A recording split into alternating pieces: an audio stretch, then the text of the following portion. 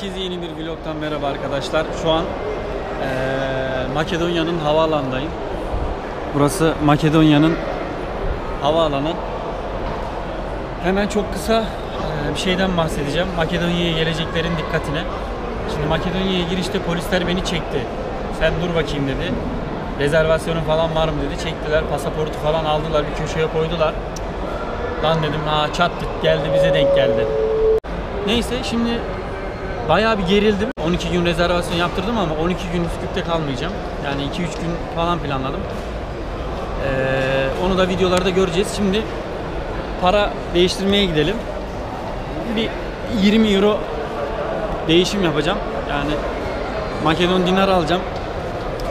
Şimdi change office'e gidelim. Paramızı alalım. Ama harbiden adam geliyorlar ulan zaten küçücük bir yer anasını satayım. Anlamadım yani. Adamlara döviz getiriyoruz onu da beğenmiyorlar. Buradan değiştireceğiz. Hello. Bu arada hemen İngilizceden bahsedeyim. Benim İngilizcem çok çok iyi değil ama bir şekilde kurtaracağız. O yüzden hani şurayı yanlış konuştum, burayı yanlış konuştum diye bir şey söylemeyin. Bir de pasaport için bakın şöyle bir şey alın güvenli. Şimdi buraya gideceğiz. Sanırım şurası. Aynen. Airport Pass. Uh, excuse me. This is bus going to city center? Yeah, okay. İşte böyle böyle İngilizcemizi geliştireceğiz. O yüzden yurt dışına çıktım. Şimdi şehir merkezine gidip önce kalacağımız yeri de ayarlayacağım. Bakalım. How much? 108. 18. 118 yani e, 180 dinar yapıyor. O da 18 TL yapıyor. Şimdi e, biletimizi alıp otobüse geçeceğiz. Şimdi otobüse bindim. Şöyle göstereyim otobüsü.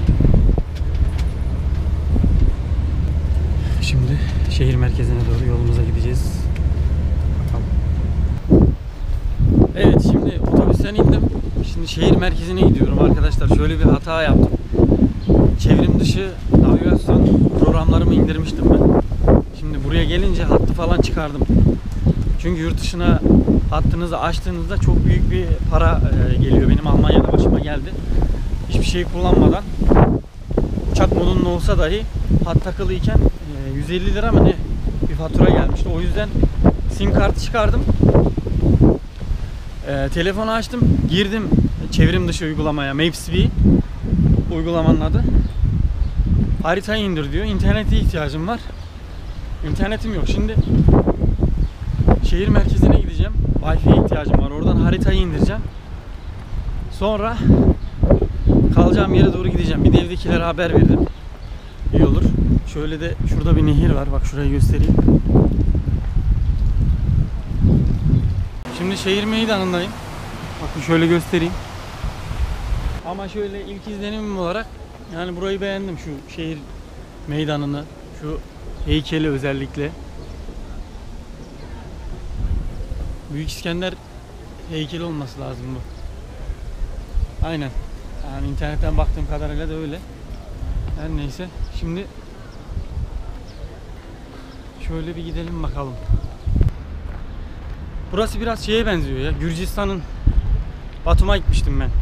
Oraya biraz benziyor zaten Sovyetler Sovyetlerden kalan böyle e, sokakların eski yapıları falan hep Sovyetler Birliği'nin dağılmasından sonra kalmış yani gelişmemiş.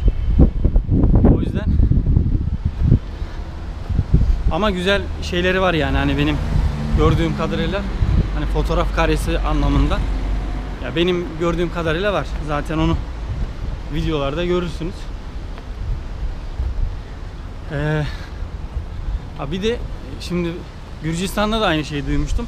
Burada mesela yapısal şeyler çok uzun sürüyormuş yani yavaş ilerliyormuş. O yüzden böyle inşaat halinde kalan şeyler var. Mesela şehir meydanında o Büyük İskender heykelinin olmuş olduğu yer arka tarafında hemen inşaat vardı. O yüzden bu taraftaki açıdan açıdan görüntü aldım.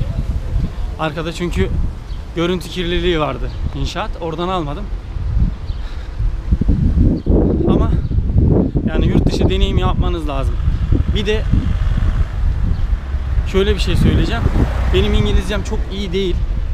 Ama internetten hep filmleri altyazılı izlediğim için hani bende şey var. Girişkenim. Yanlış da söylesem konuşacağım abi.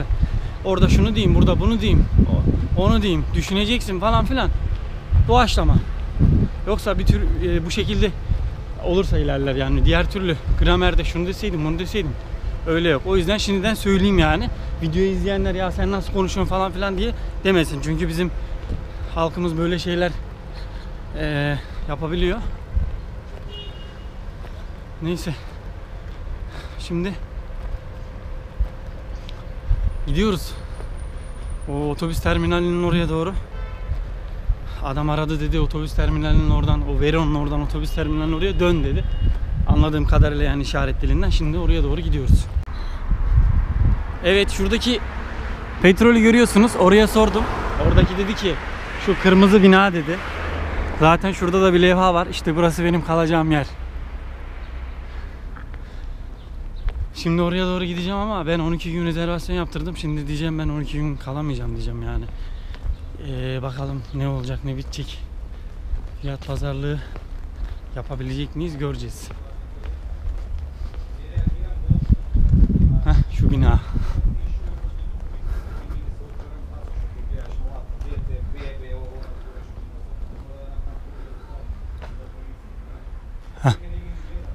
Bina şu bina değilmiş. Orada çıplak kadın resmi falan var lan. Nasıl bir yer oğlum burası?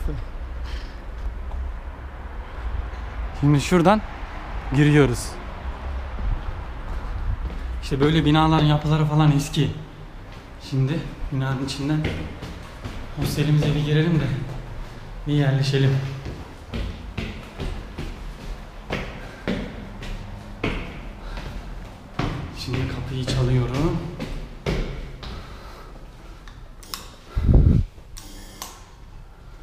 死神ちゃん